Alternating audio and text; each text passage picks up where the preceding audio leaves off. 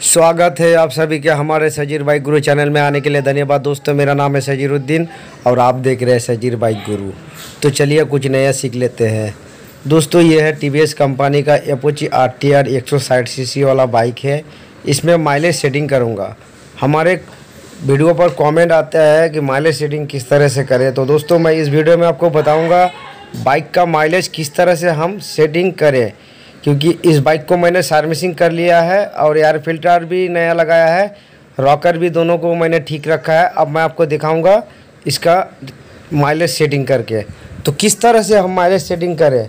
तो दोस्तों, सबसे पहले मैं इसमें सर्विसिंग लाइट जो बिलिंग करता है, इसे मैं ऑफ़ करूँगा।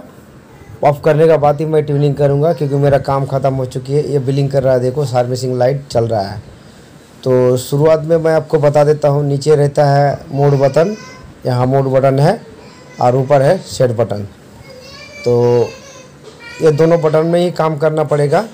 तो चलो मैं मोड बटन को दबाता हूँ ट्रिप वन ट्रिप टू ठीक है? अब मुझे ऑडियो पे काम करना है, ये ऑडियो है, देखो। ऑडियो पे काम करना है और देखो यहाँ मेरा बिलिंग करेगा। देखो, यहाँ मेरा बिलिंग करेगा रेड रेड कलर की।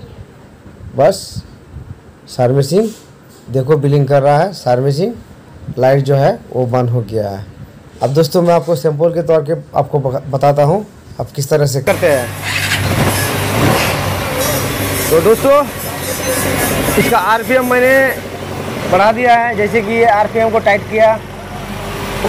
टाइट करने के बाद इसका आरपीएम अभी थर्टी पे है। तो अब मुझे यार स्क्रू को बढ़ाना है, कमाना है। इसी से माइलेज शेडिंग होता है। ये यार स्क्रू नाट है। तो चलो मैं इसे ढीला करूँगा और यहाँ आपको मैं दिखाऊँगा, ये ये बढ़ेगा। मुझे हाई करना है आरपीएम पूरा। थर्टी पे था। ये हाई हो रहा है इस ऐसे करके।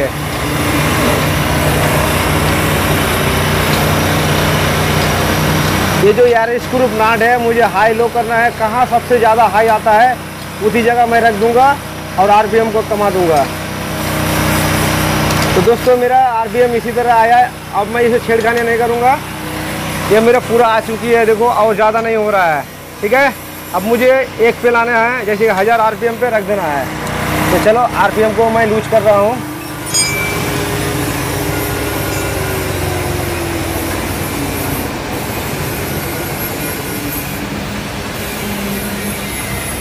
बस।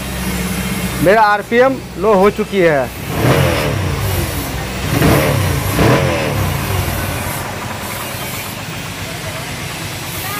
बस। तो दोस्तों, इसी तरह से माइनस शेडिंग करता है। मैंने आपको बताया बाइक स्टार्ट करने के बाद इसे थर्टी कर लीजिए आरपीएम को, थोड़ा बढ़ा दीजिए। और यार स्क्रू नट को थोड़ा आपको ढीला टाइट करना पड़ेगा। सबसे ज़्यादा आरपीएम जहाँ अभी शो करे, उसी जगह इसको रख दीजिए।